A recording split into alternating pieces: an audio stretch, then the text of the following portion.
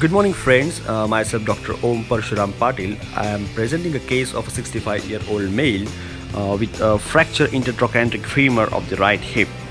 Now, we have planned to fix this fracture.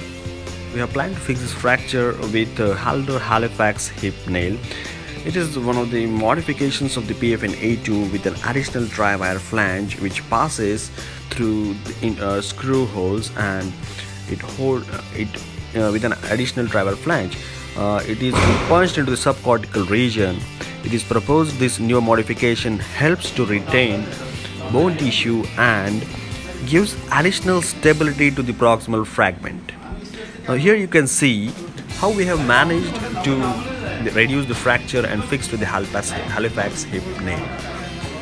Now here you can see how we have gently introduced the tri-wire flange gently by punching with the hammer and hands punch. Here you can see how, how beautifully it goes to the subcortical region.